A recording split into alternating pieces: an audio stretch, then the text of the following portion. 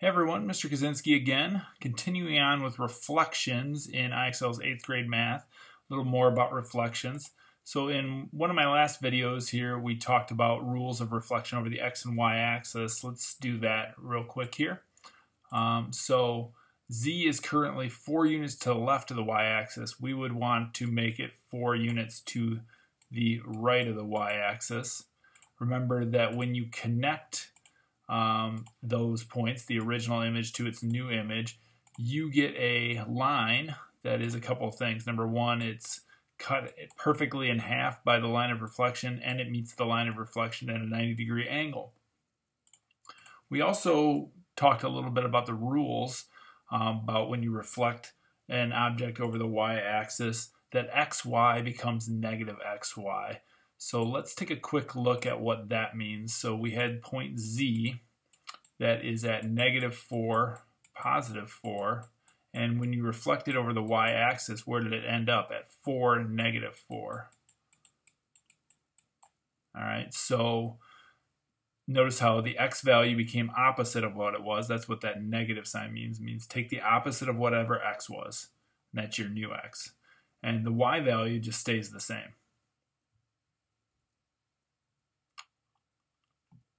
Which I had the wrong y value to begin with. So negative 4, negative 4. There we go. All right, so we're not asked to do this, but let's take a look at it. What if we do a reflection over the x-axis? The rule for that is that xy becomes x negative y. So if, if we've got z at um, negative 4, negative 4, and we apply this rule, then z, we'll call it double prime, is going to be x stays the same, so that would be was negative 4, it's going to stay negative 4. y becomes opposite, it was negative 4, it'll become positive 4. So negative 4, positive 4. Would that be a reflection over the x-axis? So this is the x-axis. If we connect the original to the new image, z prime, um, yep, a couple things happen there. Number one, we get a line, that red line's cut in half by the line of reflection, and it meets the line of reflection at a 90 degree angle. So there's a quick review on reflection over the y and x axis. Now we're going to reflect over um, some different things. This line right here is called the line y equals x. It's where all your y values equal your x values. 5 equals negative 5, negative 6 equals negative 6. All right, so if we want to reflect over that line, um, we'll just start approaching it right here. So maybe I'll draw my red line in right now. so if we meet this, see there's our red line that meets at a 90 degree angle with the line of reflection and then we'll just count this distance. This isn't actually one, this diagonal, it's the square root of two, but anyway, it's one diagonal unit, two diagonal units, three diagonal units, a half of a diagonal unit. So we'll go three and a half the other way. One, two, three would be right. Oh, I'm sorry. One, two, three and a half is right there. So that would be this point right here would be M prime.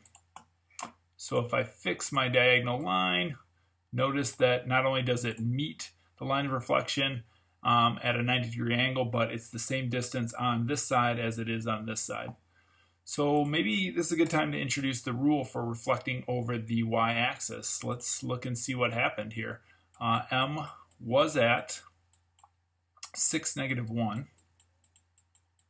And where did it end up? Where's m, m prime?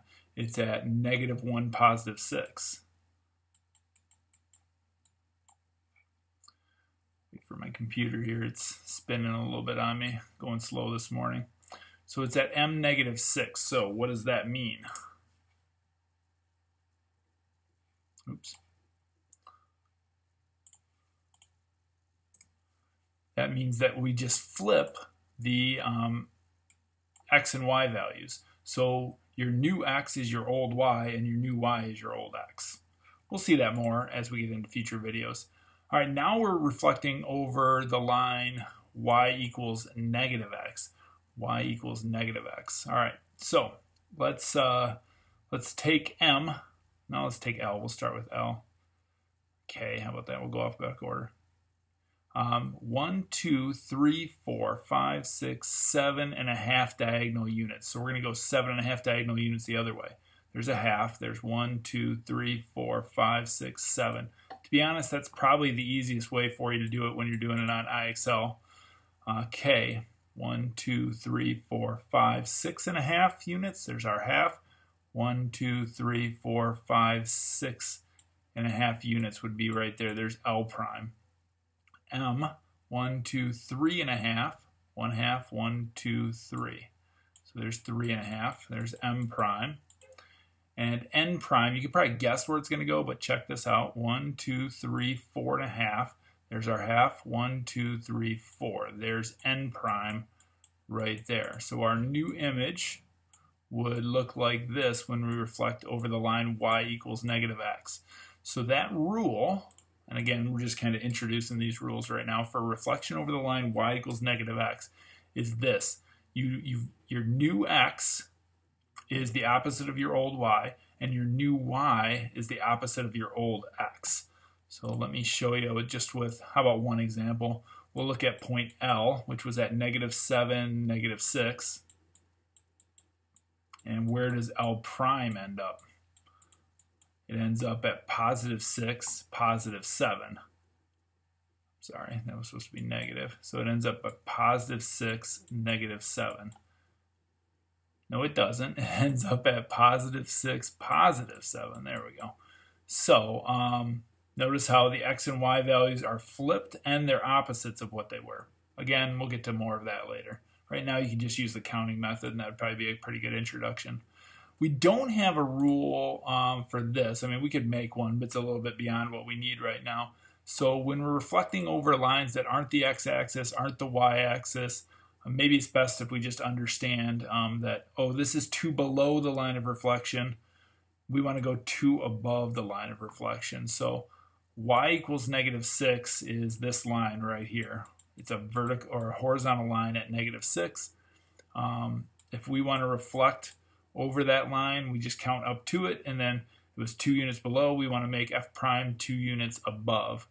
So, um, and again, remember this idea where when we connect the corresponding points, um, it meets the line of reflection at a 90 degree angle, and it's cut in half by the line of reflection. One more, um, let's do this one here where we're reflecting over the line x equals negative 1. That's this purple line right here. It's x equals negative 1.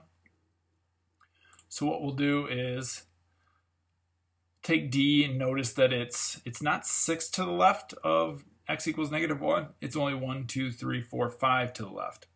So we'll count 1, 2, 3, 4, 5 to the right. That's where um, D prime would be.